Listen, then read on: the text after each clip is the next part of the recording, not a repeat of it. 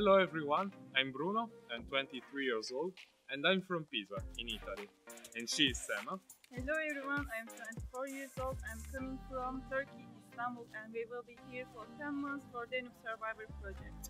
We will be in the town of Svistov and in the villages of Vardim and Batin, and we will create Danube Youth Solidarity Spaces. We want to create youth solidarity spaces for inclusion and development. We will create eco-bike roads, water eco-roads, and also eco-greenhouses. And we will also raise awareness about the European Youth Strategy. We will run campaigns as a team and we are really proud to be in this project and we want to meet you all. We will wait you from June to August and you can stay as long as you want. Join us!